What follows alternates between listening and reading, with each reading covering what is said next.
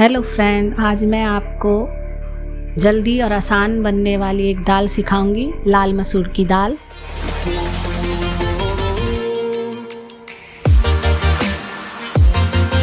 आइए बनाएँ। गैस जलाकर कुकर चढ़ाते हैं। इसमें थोड़ा सा तेल।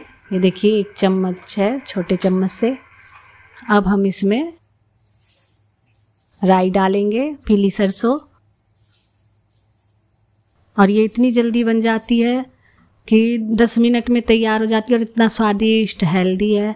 खाने में बहुत टेस्टी लगता है। रोटी के साथ भी खाते हैं और चावल के साथ भी खाते हैं। बहुत टेस्टी बनता है। एक बार आप ज़रूर बनाइएगा। ये देखिए, मैं लहसुन और हरी मिर्च डाल रही हूँ।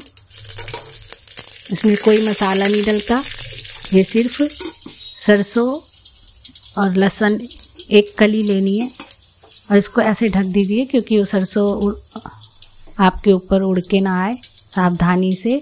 जब ये आवाज़ करना बंद कर दे, तब आप इसका ढक्कन हटा सकते हैं।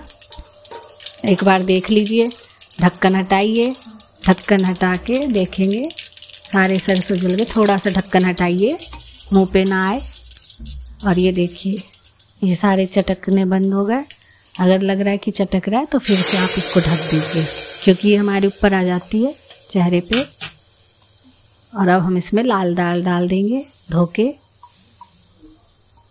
और आपको जितना अंदाजे से बनाना है, आप उतना पानी डालिए, जितने लोगों के लिए बना रहे हैं।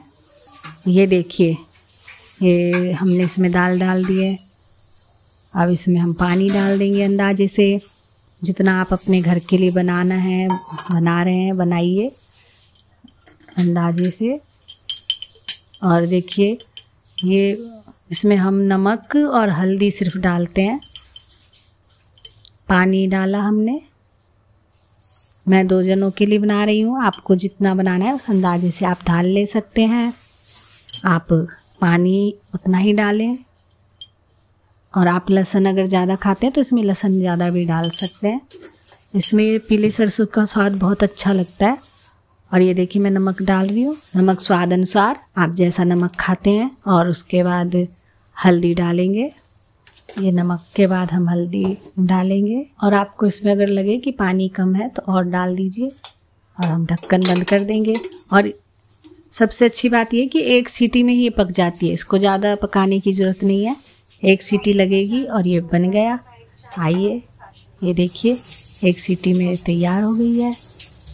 ये बहुत जल्दी, फटाफट, स्वादिष्ट हेल्दी ये दाल, इस दाल में प्रोटीन बहुत है। ये देखिए, कितना अच्छा लग रहा है।